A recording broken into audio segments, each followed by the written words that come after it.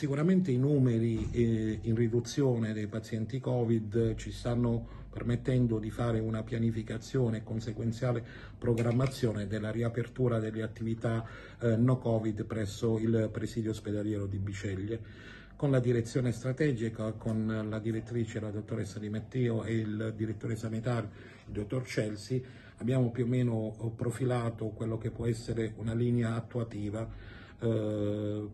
diciamo, eh, sintetizzando la riapertura del Dipartimento Materno-Infantile, quindi ostetrice, ginecologia e pediatria no Covid e le attività di natura chirurgica. Oggi in sede di sopralluogo ho fatto visionare quelle che sono diciamo, le aree che erano già pronte per un eventuale di immediato shift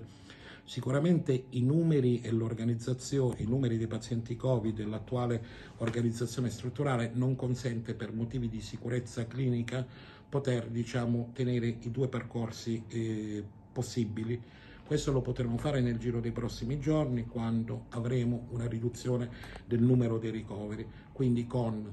ritorno a quello che era già stato definito in una fase, ovvero un doppio percorso di pronto soccorso, un pronto soccorso no Covid, un pronto soccorso diciamo Covid con un OBI, le malattie infettive ancora diciamo eh, a sostegno e a supporto delle attività Covid, il Dipartimento materno-infantile con ostetrice, ginecologia e pediatria è in una fase immediatamente, diciamo così, di ripartenza insieme alle attività chirurgiche. In, un, in una seconda fase, ripresa delle attività nelle aree mediche, quindi nella medicina interna e lungodegenza e nella cardiologia. È chiaro che in un, un arco cronologico sarà definito al termine di una verifica anche sui dati che in questo momento dobbiamo estrapolare per poter mh, presentare alla direzione strategica quelli che possono essere i punti di partenza. È chiaro che auspichiamo che entro aprile,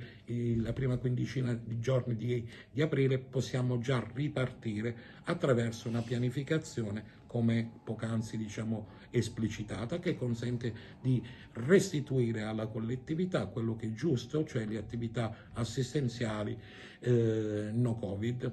Nel frattempo sicuramente alcune attività, quale la diagnostica, che consente di avere un doppio percorso, quello relativo dedicato ai pazienti eh, oncologici, quindi assicureremo eh, anche questo, continuiamo ad assicurarlo, così come cercheremo di riprendere le attività della radiologia tradizionale anche con l'uso della TAC attraverso una serie di programmazioni interne che possono rendere fruibili anche per eh, il territorio l'utilizzo delle grandi macchine di diagnostica, quindi è la radiologia tradizionale. Di tutto questo ovviamente sarà fatta un'adeguata programmazione e sarà presentata alla direzione strategica. Nei prossimi giorni con il dottor Matera